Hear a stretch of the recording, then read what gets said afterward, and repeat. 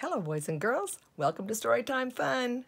I dedicate this next story to my grandchildren, Ethan, Denver, Summer, and Violet, whom I love to have fun with.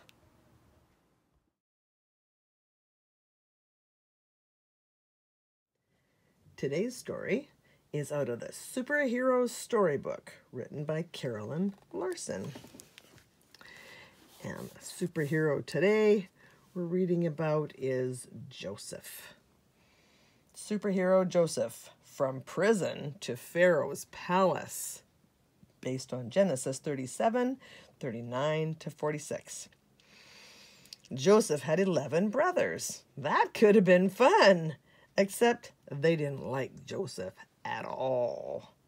They were jealous of him because their dad liked him better than all of them. Joseph's dad even gave him a fancy, colorful coat. It was nicer than any of their clothes. That made Joseph feel pretty important.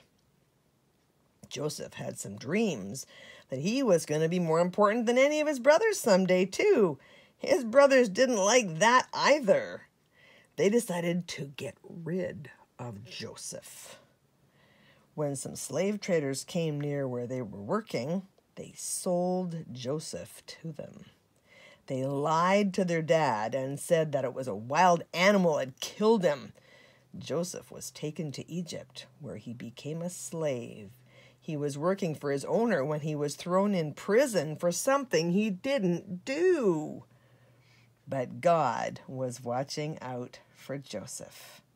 He helped Joseph help the king of Egypt. The king took Joseph out of prison and made him a ruler in Egypt. God told Joseph that a drought was coming and there would be no food. So Joseph came up with a plan to save the food for Egypt. People from other countries came to buy food from him. They would starve if Joseph didn't sell them food. One day, Joseph's brothers came. They didn't recognize him but he knew who they were. Joseph remembered all the mean things they had done to him. He remembered that they sold him to the slave traders. Joseph could have put them in jail. He could have killed them. He didn't, though. Joseph forgave his brothers for all they had done to him. He had them stay in Egypt, and he took care of all of them superhero characteristic. Joseph forgave others, even when it was really difficult. He knew that God had a plan through all that happened to him.